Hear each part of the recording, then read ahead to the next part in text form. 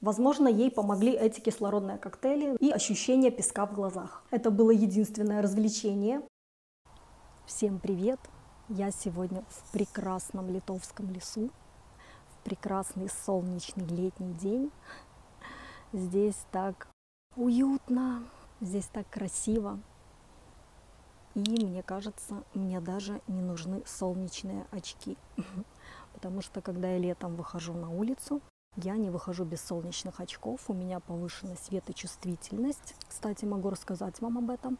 Здравствуйте еще раз. К сожалению, в лесу ничего снять не получилось. У меня за спиной постоянно ходили какие-то люди, а я не могу снимать. Когда на меня кто-то смотрит, я стесняюсь.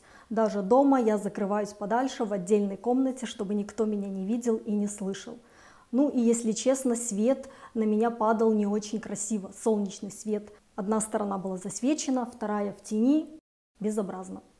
Не так, как я рассчитывала. Как я вам и сказала, у меня после лазерной коррекции зрения повышена светочувствительность, и, насколько я знаю, у многих э, людей, которые сделали такую же процедуру, этот же эффект. Для меня сложно выходить на улицу без солнечных очков э, в солнечную погоду. Кажется, что э, солнце светит слишком ярко, и мне, можно сказать, даже болят глаза.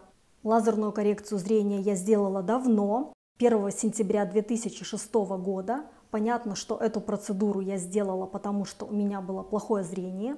Насколько я помню, правый глаз у меня был минус 3, левый минус 2,5. Но интересно, что после этой процедуры правый глаз у меня стал видеть лучше, единицу, а левый 0,9, 0,8.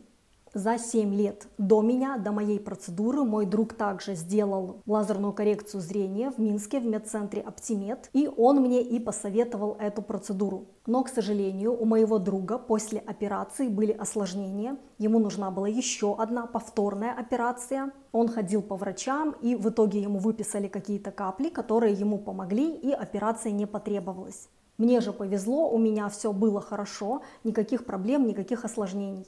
Почему я сделала лазерную коррекцию зрения? Немного предыстории. Я никогда не носила очки. Зрение у меня начало портиться примерно в девятом классе. В то время я много училась, много читала, долго смотрела телевизор. Это было единственное развлечение.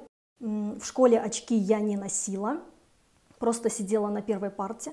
Насколько я помню, в поликлинике мне делали электрофорез, еще я пила какие-то кислородные коктейли, но ничего из вышеперечисленного мне не помогло, хотя у моей э, одноклассницы зрение прекратило падать. Возможно, ей помогли эти кислородные коктейли, но в моем случае они не сработали. И мое зрение продолжало падать и упало, как я вам и сказала, до отметки минус 3, минус 2,5. Это не очень плохое зрение, с ним можно жить даже без очков. Конечно, не совсем комфортно. И когда я начала учиться в университете, моя одногруппница посоветовала мне купить линзы. И первые мои линзы были самые дешевые, белорусские, самый дешевый физраствор, дешевый контейнер, и все было прекрасно, я могла их носить примерно 20 часов в день, но что самое интересное, следующие линзы, которые я купила через 9 месяцев, я могла носить уже, например, 15 часов в день. И последующие линзы все меньше и меньше часов в день я могла носить. Вот такой у меня был эффект. Не знаю почему. Возможно, у кого-то э, с линзами такая же история. Пожалуйста, напишите. Мне будет интересно, я одна такая же. Или есть еще такие же бедняги, как и я. Причем э, линзы я покупала все лучше и лучше, самые лучшие линзы, импортные, самый лучший раствор, но мне ничего не помогало. И в итоге у меня встал вопрос, или я покупаю очки, или я делаю лазерную коррекцию зрения. Почему я не хотела покупать очки? Во-первых, я к ним не привыкла, и я не нравилась себе в очках. Плюс еще у меня от очков, от долгого ношения очков, даже солнечных, э, начинает болеть переносица и уши.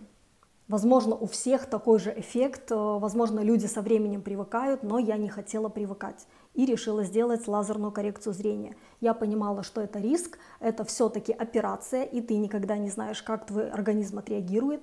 Да, например, как у моего друга, у него были проблемы, но я решила рискнуть. Я выбрала тот же медицинский центр, как и мой друг, э, Оптимед в Минске. Сначала я пришла на несколько платных проверок, во время которых врачи выясняли, можно ли мне делать эту операцию. Но, если честно, э, для меня это больше выглядело как выманивание денег, потому что ничего сверх они мне не сделали.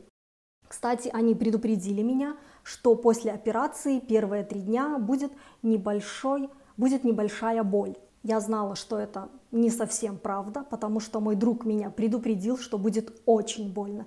И несмотря на то, что у меня высокий болевой порог, для меня это была одна из самых сильных болей в моей жизни. Конечно, я еще не рожала, но поверьте мне, первые три дня, первую ночь очень больно. Конечно, делала эту процедуру я давно, в 2006 году, тогда были совсем другие лазеры. И, как вы понимаете, я делала самую дешевую процедуру, она стоила 500 долларов. После этой процедуры три дня нужно терпеть, да, очень больно. Но была процедура еще за 1000 долларов, и э, после нее не было никаких болей. Что чувствовала я? В первую ночь спать было невозможно, было очень больно, никакие лекарства не помогали, просто градом текли слезы и ощущение песка в глазах.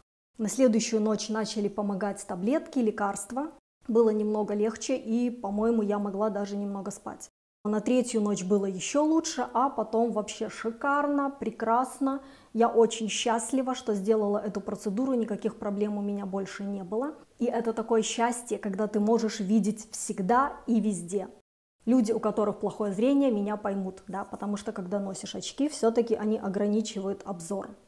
Конечно, после этой процедуры я волновалась, я старалась меньше смотреть телевизор, меньше читать. На то время у меня не было компьютера, но когда он появился в моей жизни, я начала замечать сухость глаз. Понятно, что это не от процедуры, это именно эффект от компьютера, э, от работы за компьютером. Я покупала различные капли от сухости глаз, но иногда утром было очень сложно открыть глаза. Иногда я думала, может быть, это из-за того, что я мало спала.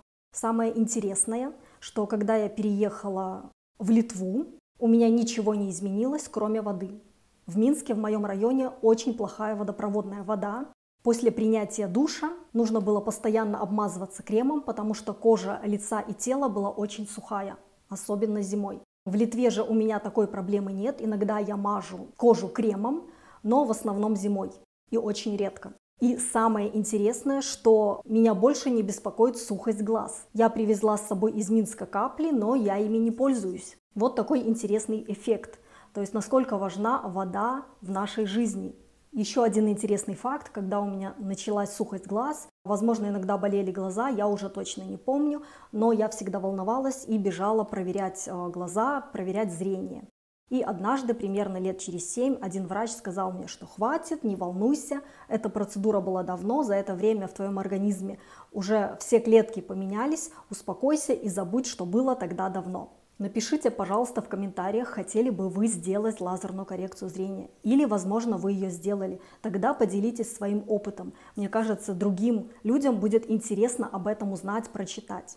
Кстати, забыла вам сказать, что после того, когда я ходила на проверку зрения, после процедуры, после лазерной коррекции зрения в медицинский центр Оптимед, я заметила, как много было людей с проблемами в 2006 году. То есть у многих людей были проблемы после лазерной коррекции зрения. Я понимаю, что сейчас совсем другие лазеры, возможно, каких-то негативных последствий, проблем меньше, чем это было давно. Советовала бы я сделать эту процедуру, эту операцию.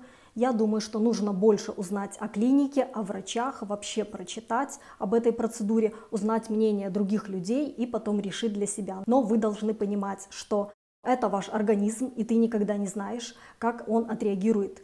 У вас может быть самый лучший врач, э, самое лучшее оборудование, но после этого могут возникнуть какие-то проблемы. Если честно, в 2006 году я бы никому не советовала делать эту процедуру. И даже 5 лет назад, когда мой знакомый спрашивал моего совета, стоит ли ему делать лазерную коррекцию зрения, я ему сказала, ты носишь очки, ты привык к очкам, э, я тебе не советую рисковать потому что ты не знаешь, как твой организм отреагирует. Мне повезло, у меня никаких проблем не было, но я видела своими глазами, как много людей было с проблемами после этой процедуры.